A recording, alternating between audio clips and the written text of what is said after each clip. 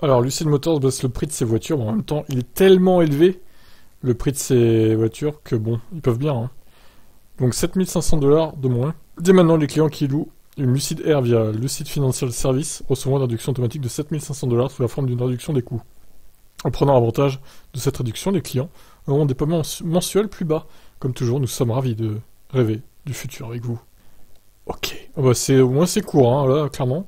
Ouais, alors Lucide, moi je, sais pas trop hein, ce que ça va donner cette marque dans le futur. Bon, ça a l'air plus solide que Faraday Future, ou que Sono Motors, ou même que Lightyear, je dirais, vu qu'ils ont déjà sorti des voitures euh, qui, roulent.